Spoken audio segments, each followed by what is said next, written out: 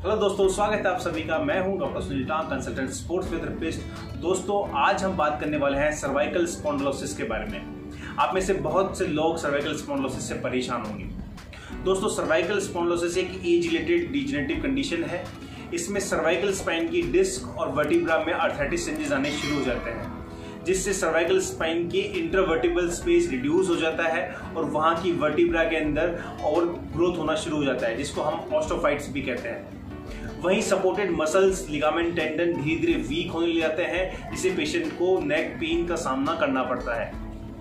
दोस्तों, ज़्यादातर ये चेंजेस अबाउ 50 यानी 50 साल से ज़्यादा की उम्र के लोगों में देखा गया है। लेकिन जिस तरह की सेडेंट्री लाइफ स्टाइल हम लोग फॉलो कर रहे हैं, उसके अंदर ये, अब ये चेंजेस हमें 30 प्लस में भी दिखने को मिलने लगे हैं।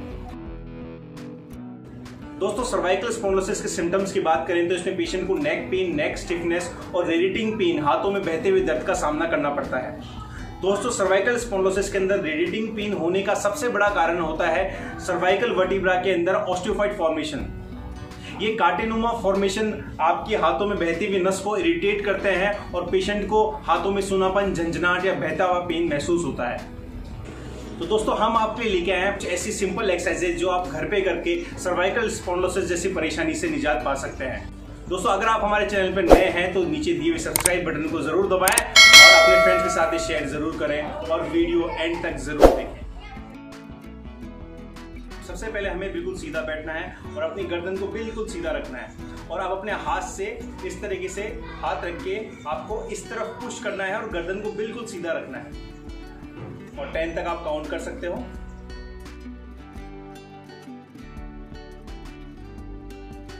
अब आपको सेम ऐसा अपोजिट साइड के लिए भी करना है।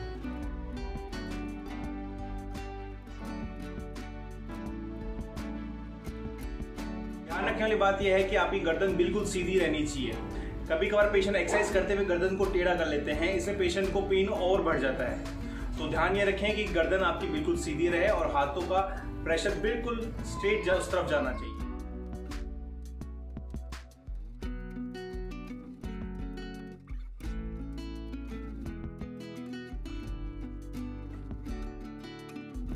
अब हम आगे इस तरीके से, इस तरीके से हाथ को रखकर हम फोरहेड पे रखेंगे और पीछे की तरफ़ पुश करेंगे, गर्दन को उसमें बिल्कुल सीधा रखेंगे।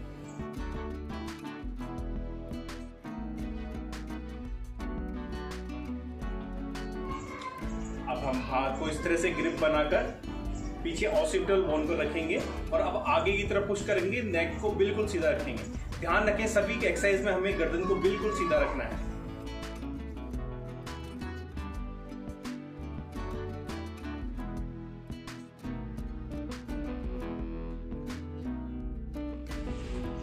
और अब इस तरह से हाथ बनाकर पाउच चिन के नीचे रखना है और ऊपर की तरफ़ पुश करना है। और गर्दन को नेक को होल्ड रखना है